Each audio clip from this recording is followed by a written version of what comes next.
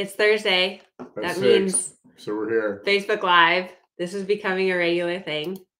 I'm very happy that you're Yeah. here. I stopped fixing my bicycle. Yes, um, we went for an adventuresome bicycle ride. One thing you should know about German is that he loves to go off, Off trail. trail scrambles. I like love the off trail scramble. we cannot go on a hike or a bike ride and stay on the trail. Like that is just not allowed. And especially when you're riding bicycles and you end up like carrying your bicycle up the hill, like on a ravine, I just, yeah, That's fun. it's fun. But here's the ironic thing when you're in the arena, you like follow the beaten path and you like cannot venture out of your path. But when we go hiking, Off trail scramble. why it's is a balance. It's? I don't a balance. understand. It's a balance. I don't get it. It's a balance. Anyways, he got a flat tire. Two of them, four of them. I got two of them at Galway at the show. I ran through a bunch of uh, uh, goat heads, Yeah. and then when I went to change the inner tubes, I ran my fingers all through the inside, and I didn't feel anything sharp. So I was like, I was okay, but they were all stuck in the tire. And then when I pedaled again, it Yeah. stuffed them back into the inner tube, and And then we had to jump the fence with the bicycles. So twice that was exciting. we had to jump the fence to the wash. And then go down the path, and then I was getting the flat tire. Then we had to jump Yeah. the fence back into the compound. Anyways, it was raining and we didn't get to ride our horses. Well, we just were able to tack walk around the property. So clearly we had way too much time. Clearly, Clearly. And we're both going stir crazy. But know tomorrow we can ride. Nobody's nobody's lying. There's lots of people. There's 36 people watching. What do you mean? no Say comment. hello in the chat because he's not feeling I'm not. I'm not seeing. Let us know if you have any questions for us. Okay. Okay, so next week, Tuesday. next Thursday, we're going to be at World Cup, which I'm very excited about. Um, there's some really good horses, some really good riders. I'm so excited to see them. I'm excited to see Dalera and Jessica. They are the defending champions. Are you excited? They're gonna win again. So a lot of people say hello. Oh, Kareem good. I feel hello. better now because I was like, Juliet, Lori. Okay, He was not feeling the love. Um, so Dalera and Jessica, I think they will probably more than likely win. But one thing that I love, like, and one thing that I'm really going to do at World Cup is try to really focus on not just watching the horses, but also really focusing on the riders and what they're doing with their bodies, what their position is like, what their seat is doing, what their hands are doing, what their legs are doing, because that's really inspirational and really educational. So, yeah, because it's so subtle and it's the right tiny amount at the right time, and then there's nothing, and then there's the right little bit at the right time, and then yeah.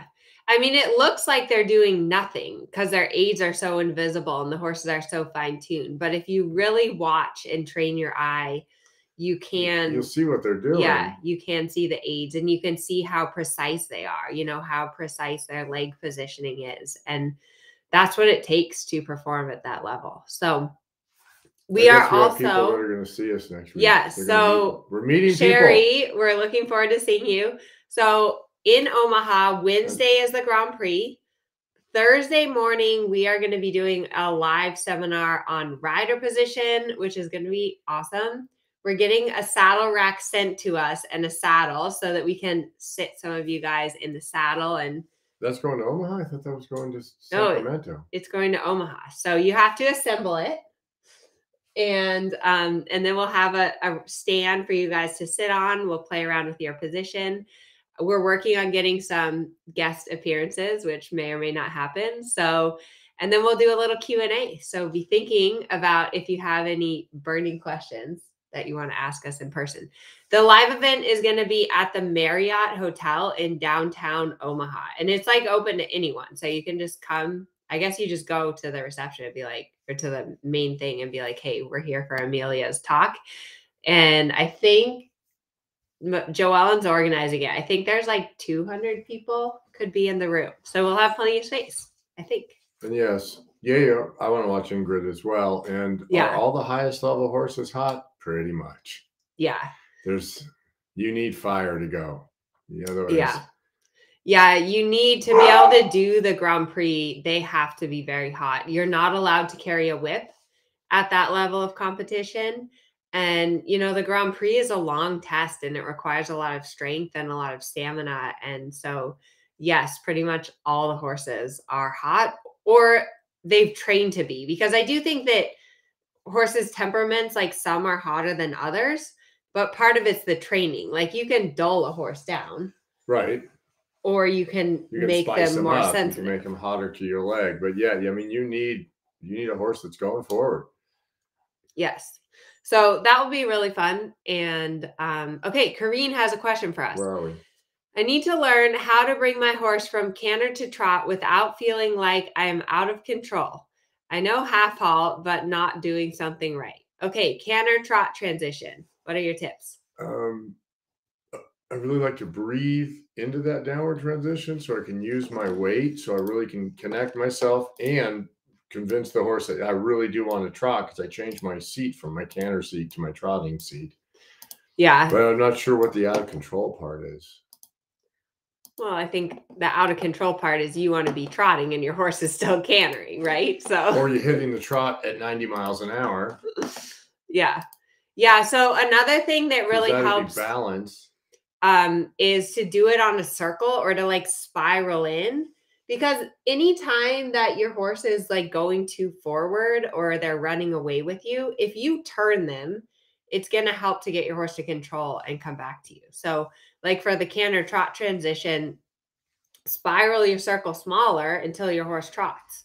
Like maybe don't even try pulling back or asking for trot. Just Right. You just, in a friendly way, you make the circle so small it's difficult to canter and then they trot because it's too much work. yeah so that works also um but yeah and then just remember too that when you're half halting you should never just be pulling like a half halt is not just pulling half halts are intermittent Uh, part of a half halt is the release. yes That is that probably the most important part of the half halt is the release of it.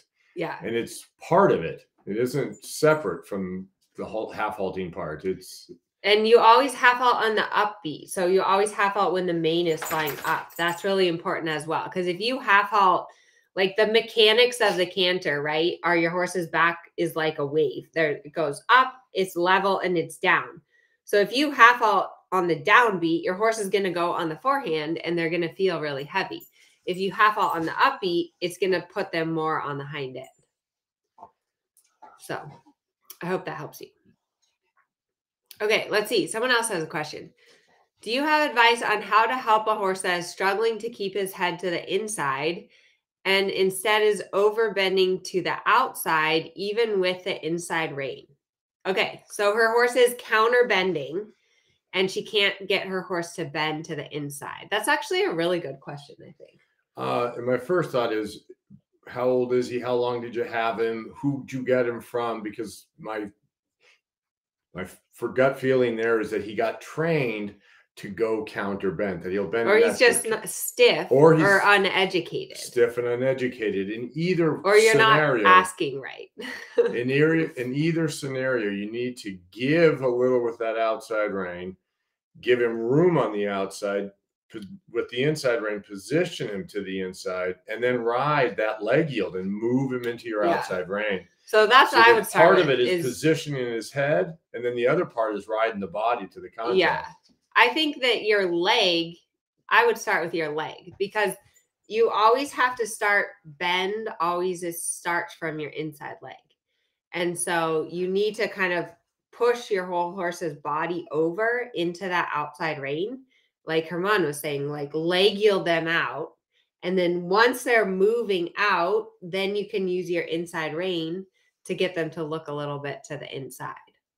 But if your horse is counter bent, remember that bend has to do with the whole body of the horse and not just by pulling on the inside rein. And that's a mistake I think we all make as we think, oh, bend our horses and we just pull on the inside rein when you need to start it from your inside leg. Right. It, the bend doesn't come from your inside rein, but it sure helps because you can position that horse right. You get the middle of the neck to bulge outward, and then it's easier to get your inside leg to move their barrel over. Oh, here's a good question from Julia. I'd love to know more about your warm up routines and processes with your horses. I'm always looking for new ideas.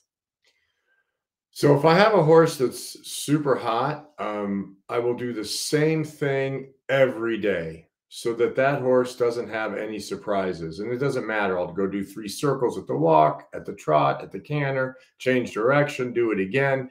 But whatever, those hot horses, I do the same thing every day, no surprises. Um, and then I like serpentines a lot for like a horse that I've not like just a normal thing that's like, hey, we're going to warm up. Um, my leg yield back and forth at the walk, and then I do serpentines at the trot and maybe a little leg yield at the trot. When that's feeling all balanced, then I'll start the canter. Yeah, I, I agree. I think every horse is a little bit different as far as their warm up routine. With a young horse or a green horse, we both do groundwork or lunging. You have a young horse, so you lunge every day first because they just might need that to get their energy out, to get loose and on the aids. Um, with an older horse, a lot of walking time is very important just to get them like limbered up and to let them start moving. So taking some laps around the property. And then, like German said, a hot horse, you want to follow routine, a lazy horse, more transitions. And, you know, just the warm up is really about focusing on the basics, the base of the training scale. So, rhythm, suppleness, and contact. That's what you're trying to accomplish in the warm up. And sometimes it takes a whole ride to get there. So that's like yeah. the warm up. I think that's important to note too that the warm up takes different amounts of time every day. Like if it's Monday and your horse has hold the whole weekend off, it might the warm up might be 30 minutes and then you might only get to like quote unquote work on the movements or whatever for 15 minutes.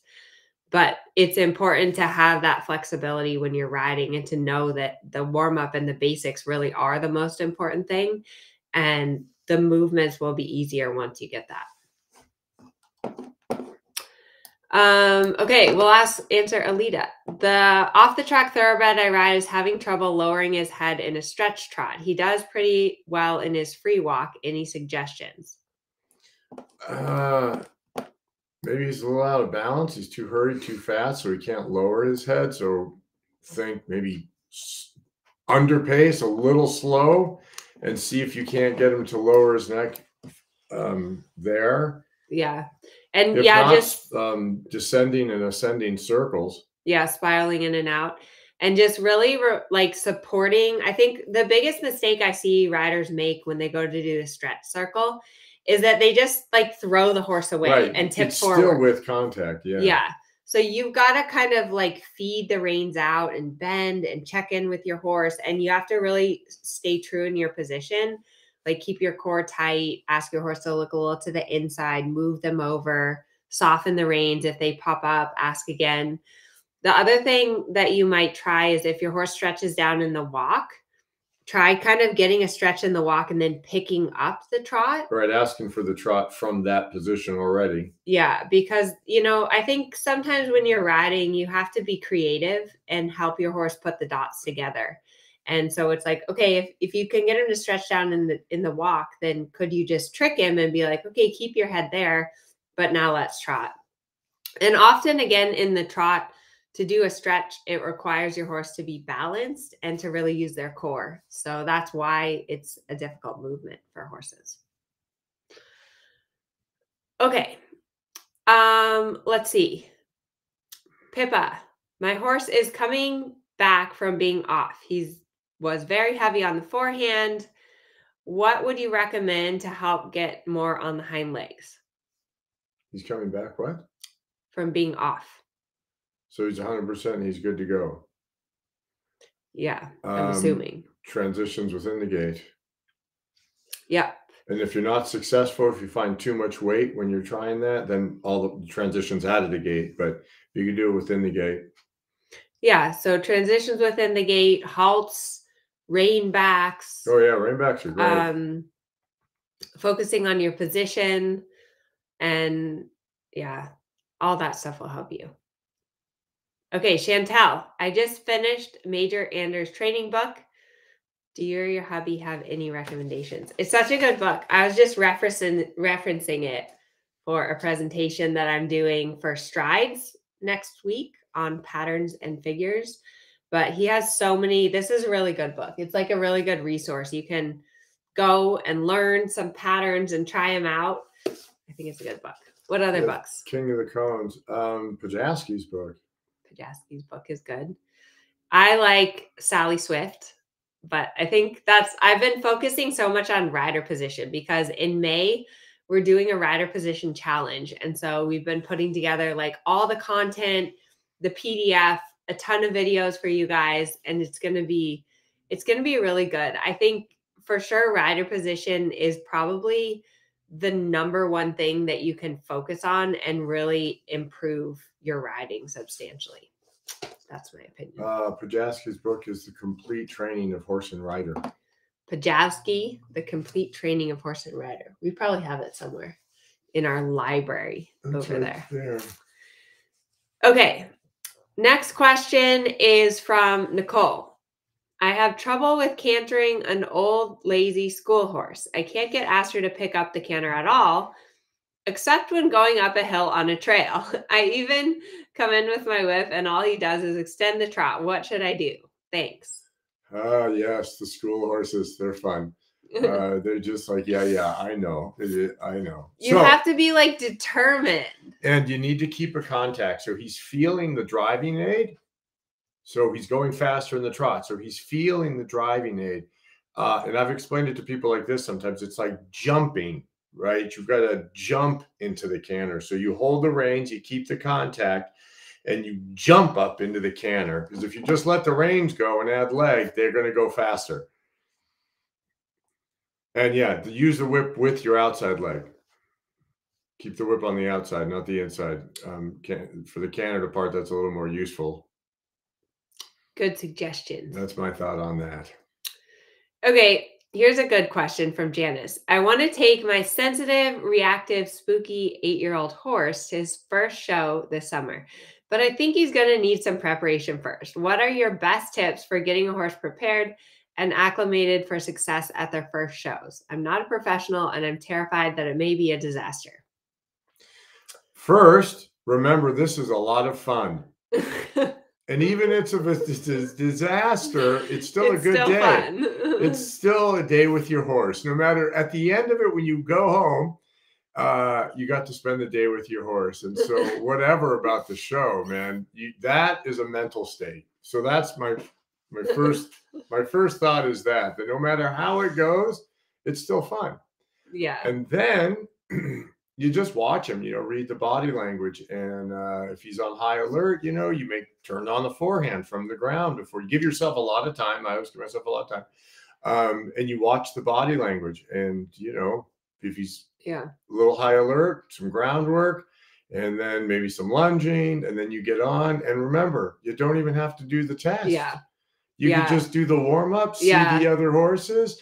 If it's good at that point, you could take him home then. Yeah. No pressure. Yeah. Yeah, I think that's really good advice. And that's something that I do um too is I give myself an out.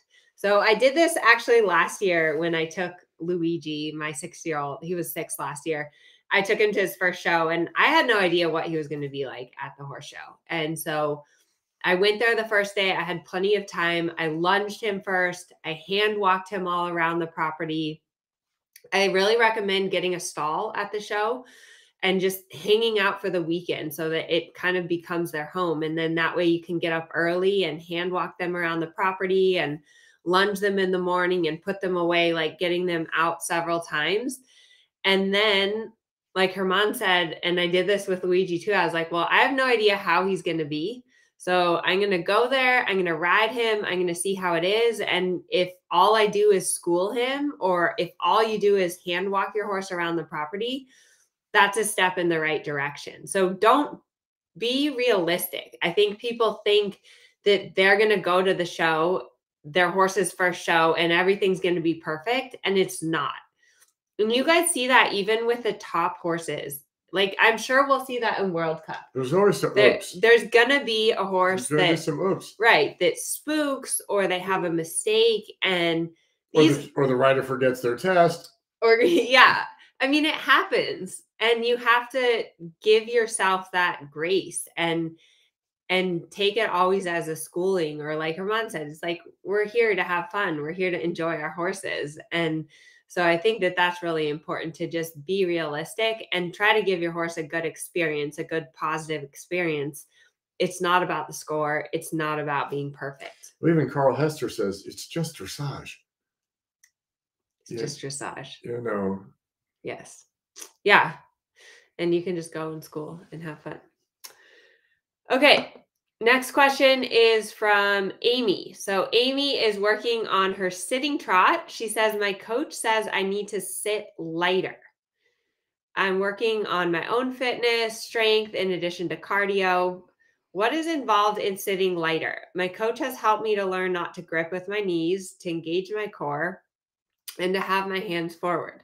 Now I'm trying to understand how to sit lighter. Any analogies or references to what body parts to engage or disengage would be great.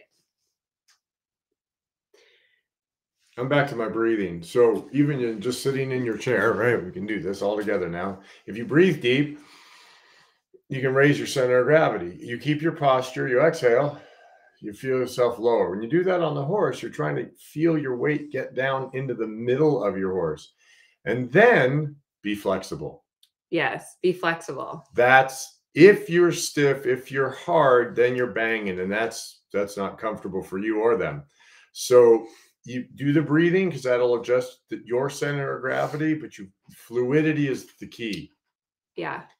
Yeah, I think that's definitely true. And there's like so you want to sit in the saddle. Like when you're you you have You're to have connected, right. For sure, you're connected. there has to be weight in the saddle. And generally, kind of my general rule of thumb is that the weight of your torso should go into your seat bones and the weight of your legs should go into your stirrups. That's kind of how I break it down. If you put too much weight in your stirrups, you're like jamming your feet forward and that's going to lighten your seat. But you don't want to now do you're forced, and things Right. are going to be hard and stiff, and Right. So you don't want to stand up out of the saddle to sit the trot, but you do really want to follow and absorb that motion of your horse. And like German said, that flexibility so that in the trot, your horse's back goes up and down, kind of like a trampoline.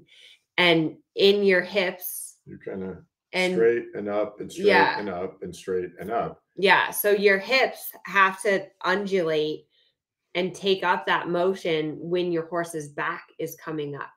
So I I used to ride with this German guy and he said one time I don't know he said don't sit angry in the saddle which I thought was like it made a lot of sense because you know how sometimes like if you're like trying to like Make it happen. make it happen. Yeah, exactly. Like if you're trying to drive your horse into something or if you're trying to really make them stop and you just like push your seat and your back into the saddle. You don't want to do that. That and that's what he meant by don't sit angry in the saddle. Like don't block your horse in that way with your seat. So um so yeah, I think breathing is really good and then I think also for the sitting trot and one thing that I learned a lot from Stephanie, the physical therapist I work with, is as far as putting your legs on, really think about using your outer, like your outer butt muscles, basically to drape your legs around the horse. And that's how you keep your position and how you keep your legs on without gripping. Yeah, you You gotta agree? hug them with your legs. Okay, we have six minutes left. Okay. You're going to tell a story About what?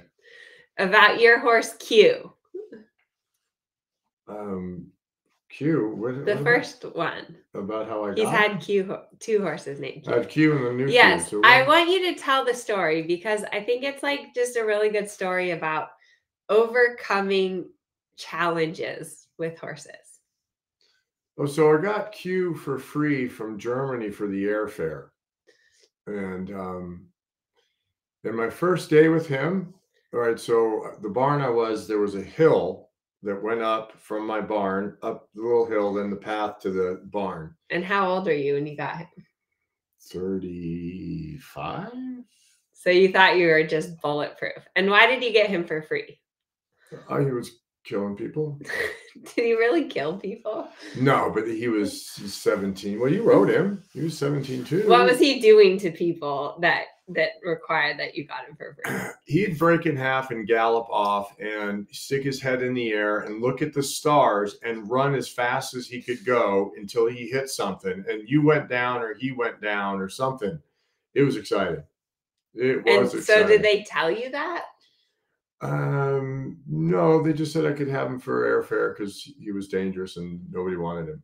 Okay. So I paid Okay. for his I paid for his ticket, and he comes. And you don't do any groundwork or like anything. You just like, I'm just gonna get on. I got on, Okay. and we go walking up the hill, and he's all good. He was good when I got on. I mean, what was he? Seven at the time or nine?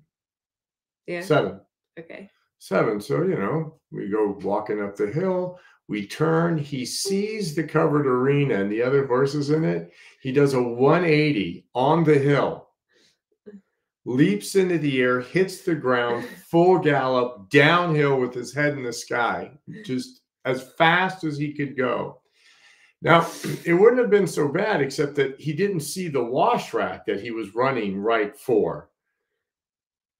That's so weird. Like, why wouldn't he look where he was Because going? his head is in the air. He just won't take the contact at all. You could not touch his mouth. You took the reins up, he flipped his head, and he took off. So I dismount from the full gallop, holding the reins. I run alongside him, go past that, and that was my first day with Q. And then what did you do? Then we lunged, and then we really slowed it down. And uh, for about 30 days, uh, I put him in the jump saddle, and I went down to the lower arena that was huge. And I just got up in a two point position, and we just cantered every day until he And you didn't finally touch went. I didn't. I just took the slack out of the reins, and he cantered and he cantered and he cantered, but he never went to my hand. He was never as fast as we were. We were never forward because he wouldn't come through into the bridle. And But and why was that? Because I people, know. I didn't. I wasn't there. right? I But you know can what they did to him. hypothesize. Uh, they scared the hell out of him. That's that's all I can guess. So at. maybe they like confined him and it never was let just all him force. move. I mean, whatever they did, they just tried to force him. Would be my best guess. was he afraid of like you on his back, or was he The afraid of contact, the contact, contact? and you couldn't put your leg on. You couldn't touch the reins without him just having a, a nuclear reaction. Yeah. And so we cantered every day in that lower arena, and uh, and I just waited, and I just waited, and finally he came over his back and threw and was in my hand, and um, and you got your silver medal on, How long did that take you? which the cantering around every day. Yeah, like until you could That was a get month. him. that a was a month. month of So no. that's not. I mean, really, that's not bad. Right, I thought I was going to go faster with um with Frankie because of that, Uh, but yeah, no, he ran like that for about a month. And then I could just start to touch the reins and he wouldn't freak out. And then slowly, slowly, I just started building on that. yeah. But I think it's you know when horses, sensitive horses, when they have a bad start, and when something like bad happens like that at the beginning, it can really freak them out and just you know. And I I think my guess is that Q. I think if he'd have been started differently, like if you'd had him from Right. the And beginning, he wouldn't have no, done no, that. no, he wasn't in pain. We did all the checks and everything. It was Yeah. all emotional. It was just all emotional. Yeah. And then he was a cool horse because you you I got him up to the Grand Prix. Was my Grand Prix horse. Yeah. So so German got him up to the Grand Prix, and then he was actually the first horse that I did the FEI on, and that because was you got your silver medal on him. Yeah, yeah. German gave him to me in like for two weeks, and then I went out and did the Prix St George on him, which was really cool. And um, there was only one moment of yelling where you made me cry. this was like at the beginning of our relationship, so so yeah, he was like, ago. he was like, here, take my horse and um, go and do the Prix St. George. And then he was like teaching me every day, and he started yelling at me, it didn't go very well.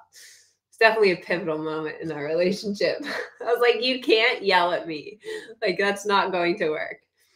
Um, so, but it was, I mean, he was traumatized. So there's, I mean, the horse had been traumatized, and we just brought him we we the, me my trainers right the people who helped me we just brought him to a better place you know Yeah. he something had happened to him Yeah, but I mean, I think that stories like that are important because horses, they do heal and you can overcome it, but it really requires being like like German, like being brave, being consistent, being determined, and there's kind of this fine line, which I'm sure you felt with Q is you know, when you're riding, you have to be the leader and you have to be in charge. But there's also times when your horse is really freaked out that you You you, have push. to right you have to go like i used to work for a cowboy he said you have to go with them so that then they can go with you.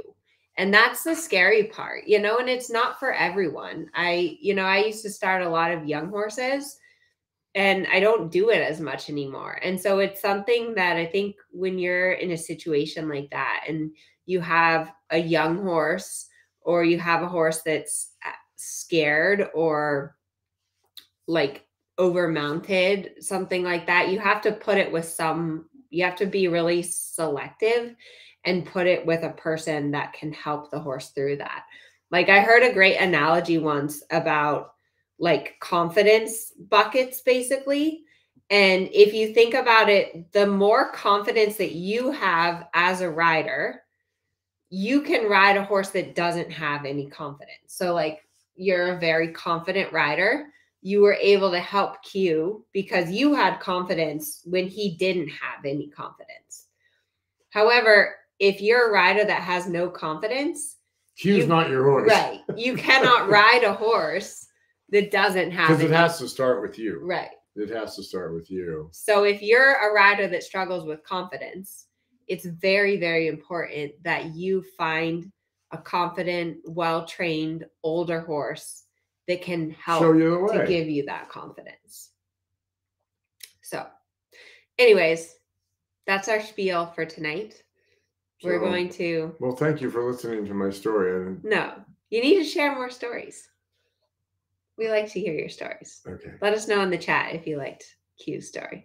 Q was a really cool horse. He was a special horse. And I think it's, it's also really cool when you overcome something like that He with a horse. very cool you know, like that no one else could, even in Ger, because in Germany, you know, I mean, they know how to ride, and the fact that they just gave him away, and then you were able to take him and get him all the way up to the Grand Prix.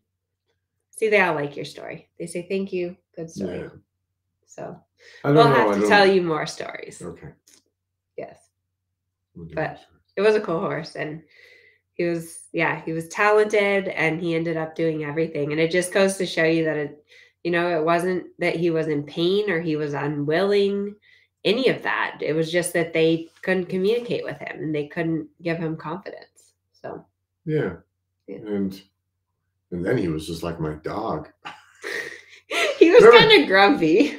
Right, he was, but he was like my dog, right? Remember the bridling thing? Yeah. The bridling, no, that's a funny story. Tell them the Oh, bridling what's the story. bridling story? So he put his head up, and I'm tall, so he They were his like an old married couple. Right, so he puts his head up, and I'm like, whatever. I got to reach nine feet in the air, and I get the bridle on, and uh, and then I was like, what is that? Because I didn't care. So anyway, I went away to teach a clinic, and I come back, and uh, you know, Amelia had him for the weekend, and I get home, and he's putting his head down to his knees when she puts the bridle on, and she calls my attention. She goes, "See," and puts the bridle on with his head down between his knees. It was just a funny day. Horses. It was a funny day. But that is one thing that that horses are so amazing is because you can change them. Like horses are way easier to train than people.